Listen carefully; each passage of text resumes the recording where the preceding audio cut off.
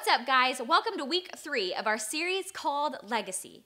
Before we get started, let's worship together. Worship is celebrating the greatness of God. So turn up the volume wherever you're watching this, get up on your feet, and let's sing and dance together.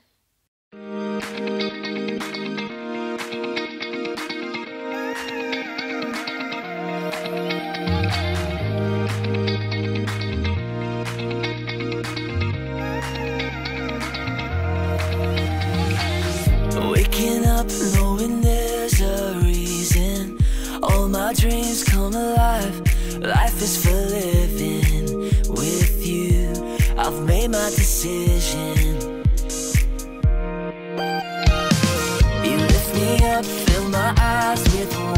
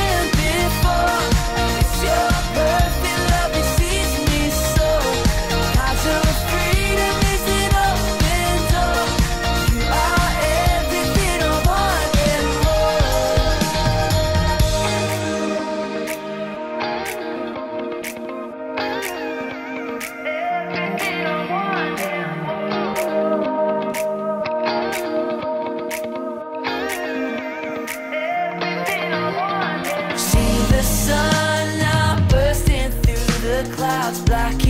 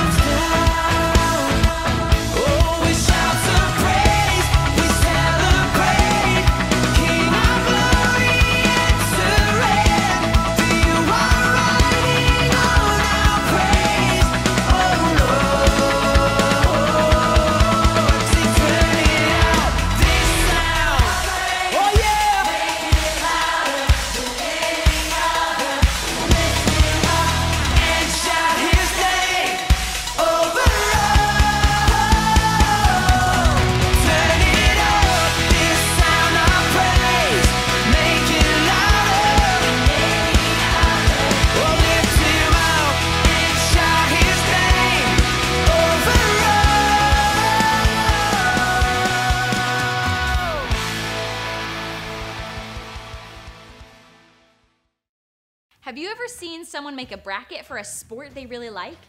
When someone makes a bracket, they usually have to make a bunch of decisions on which team is going to win until they get to the final ultimate champion at the end of the bracket. It can be kind of hard to make a bracket, right? I mean, maybe your top choice will make it to the top eight, but maybe they won't make it all the way to the top two. Today's Bible story is about a different kind of team who had to make a tough decision. They might not all have wanted to make this decision, but today we'll discover how the Holy Spirit helped them with this tough choice that they had to make. Check this out. Hi there, you chicken nuggets. It's me, Carl, and welcome to Grow TV. What is up? How's it going? What it do? Just kidding, seriously. But what's up? Do you know what this is? It is a priceless family heirloom. Apparently, this belonged to my grandpa, and his grandpa, and his grandpa's grandpa. But you know what the coolest part of it is? It's also a time machine. No matter what time of the day it is, as long as I tap this here uh, time device, it always brings me back to 315. Pretty cool, right? So guess what I do with my cool time clock? I went back in time and did something I always wanted to do. It ain't skydiving, it ain't bull riding, it ain't finger painting, and it sure ain't traveling back to Florida to teach everyone how to juggle iguanas. I don't do that anymore. No sir, no ma'am. I, Carl Eugene Ulysses Patricia Abercrombie and Fitch Hooper have started a, drumroll please, basketball team. I started a basketball team. That's right, I'm basically like LeBron Jordan. Touchdown. TJ, what's up? Carl, what's going on, man? How you been? Really, really well. Like, really well. Super well, TJ. Well, I'm glad to hear that, man. So tell me, man, what's what's got you in such a good mood today? Well, I finally did it, TJ. Okay, okay, so you did what? I did it. Carl, what'd you do? TJ, I did it. Carl, I don't know what you're talking about, friend. What, what, what did you do? I started a basketball team, TJ. What? I did it. So how did that happen? I, I thought you gave up on that idea last time. Well, it's funny that you should mention time because time is exactly what fixed everything. Carl, why are you talking in that I have a time machine that I use to go back in time to convince my friends to join my basketball team voice? Because that's exactly what I did. I have a time machine, and I used it to go back in time to convince my friends to join a basketball team. Right, but how did going back in time change anything? Well, I never asked my friends before, but this time when I went back in time, I asked them. So I found out that apparently one of my friends always wanted to be in a basketball team. So I talked to him and we got four other people to be part of a basketball team. Now we got a basketball team, thanks to time travel. Dude, uh, yeah, congratulations. I mean, I do have one question though. What's that? Well, basketball teams are made up of five people, right? Sure, You just said you had six people. sure. So, What? looks like you have one too many people. Oh no, oh no! I have too many people. This ruins everything. Now I have to choose between uh, Garrett and Dave. Well, maybe. But I think our story today may be able to help you out. You sure? Absolutely. Let's take a look at Acts chapter 1. So you know how there were 12 disciples, right? Judas left, right? Exactly. So there was only 11 now, and the disciples needed to add one more disciple. Oh, so they just picked one person, right? Well, you see, it wasn't that easy. They had two different people who could take the spot, but they could only choose one. Oh wow, that's kind of similar to the situation I'm in right now. Yeah, the disciples, they were a team. So they decided to pray to God for the answer, and then they did something to help them make the decision. A coin toss? Not quite. They cast lots. What does that mean? It was a way for them to make a decision without any of them playing favorites. Oh, so they found out who it was going to be? They knew either of them would be a good fit for the team. Oh, so they found out who it was going to be? They did. It was either going to be a man named Matthias or Barsabbas. And after they cast the lots, it was decided that Matthias would be the new disciple. Good for him. Matthias made the team. I'm kind of sad for Barsabbas, though. Ah, oh, because he didn't make the team? Yeah, and that's what I'm scared of with my basketball team. I don't want to hurt anyone's feelings. Well, I have some good news for you, Carl.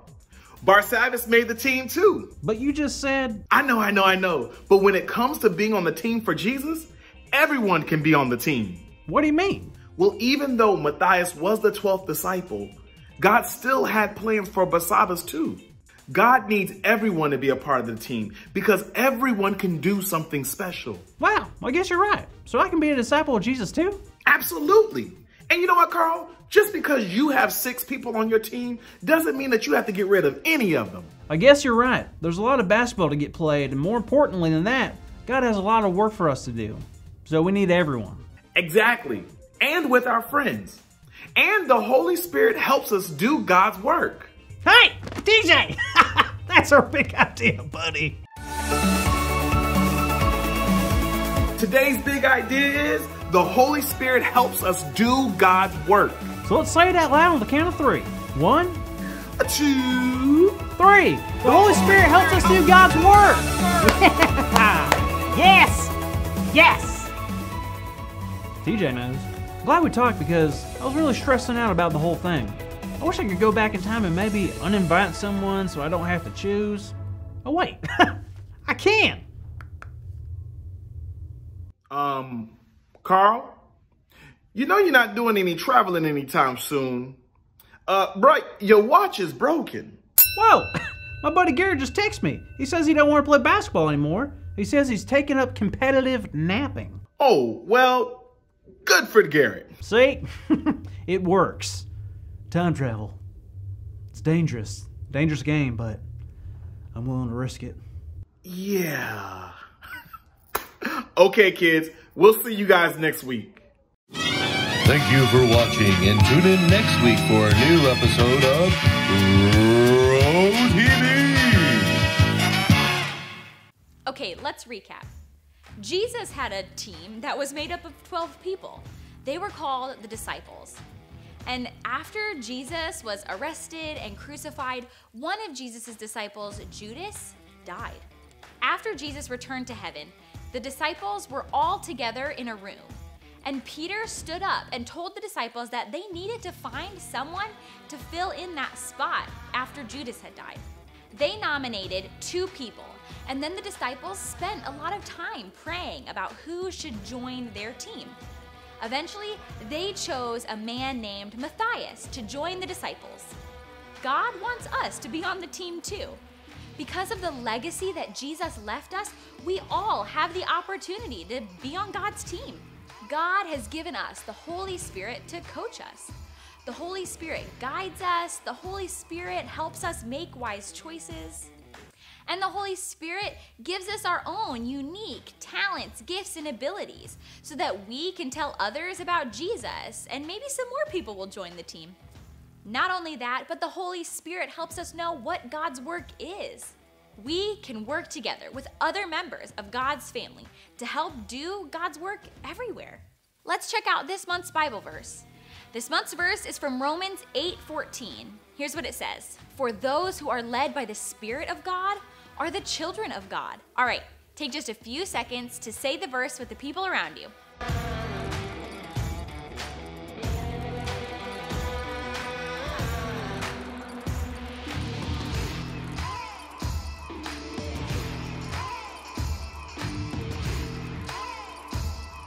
For hanging out with us today. Scroll down to check out this week's discussion questions and activities for you to do together. Have a great week, and I'll see you next Sunday. Bye.